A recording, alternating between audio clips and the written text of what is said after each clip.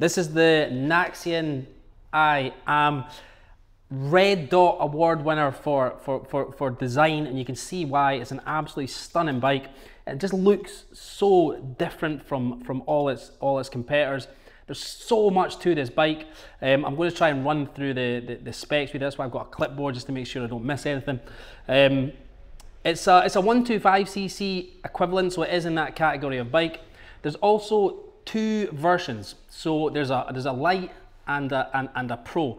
And the main differences between the two is the, the, the power and, and, and the top speed. So with the light version, it's 60 miles per hour top speed. The pro version is 70 miles per hour top speed. And also the power, the motor. So the light version is um, peak 8.5 kilowatt and the pro version is 10.5 kilowatt. There's also a boost function as well, so that just gives you a, a bit of extra speed um, and it'll take the, the, the, light version, you'll get up to 65 miles per hour in, in boost mode, and then the, the pro version, you'll get it, actually get up to 75 miles per hour. Um, now, range. So the range is really good. It's, it's a fixed battery, but the, the range is really, really good. So the, the, the light, even with the light version, um, is 75 mile in range and the Pro is quoted as up to 110 miles, so that's really impressive. Um, the other interesting thing is you can, is the charging, so you can charge it via just a standard 13 amp plug, so just a household socket, um, or it's also compatible with Type 1 as well, so that means you can take it to um, any, any car charging station as well and charge it, charge it that way. It's got ABS, uh, CBS and traction control. Um, and riding wise, you, you have three riding modes as well, which is, which is pretty cool.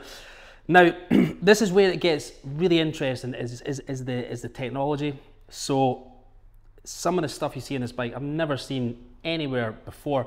Um, it's got HD cameras front and rear. It's got um, blind spot detection. Um, it's got it's Bluetooth connected, and this is something that people ask for all the time, and everybody's like, "Why has nobody done this yet?" It's got a built-in sat nav. Brilliant. Um, display wise, so the display is I don't know if you can come around to the display is fully interactive. So you can adjust all the settings. There's your cameras. Um, there's your riding modes. It shows you your tire pressure. Um, but you can control everything, all the settings on the bike you can control through the display and also the, the app as well.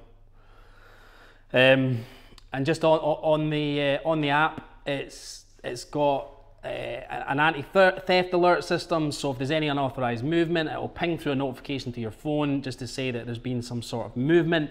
Um, and it's also got uh, GPS tracking as well. Um, just an incredible, incredible bike. One of the most exciting electric motorbikes, definitely that, that, that has come on the market uh, recently. Um, now, price wise, the, the light version is 5995 and the pro version is 6995. Give us a shout. We can offer test rides. Um, so just reach out across any channel. Um, give us a call or jump over to flexelectric.co.uk. It's worth doing because there is even more to this bike, but we'll put the full specs online so you can find everything on the, on the website.